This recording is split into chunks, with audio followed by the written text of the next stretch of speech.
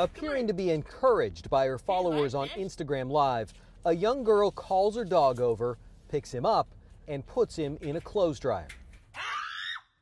Then, with a scream, she turns the appliance on, clapping and howling with laughter until opening the door to let the dog out a few seconds later. That poor dog is all I can think. Uh, I don't want to see the video again. It's so awful. Maura Davies with the SPCA of Texas said the video was brought to the organization's attention over the weekend. Within hours of someone sharing it on Twitter, it started to spread with calls from viewers to find the girl in what they saw as a case of animal cruelty. Because there are no charges at this time and the girl appears to be a teenager, CBS 11 has blurred her face and is not identifying. Sir Charles.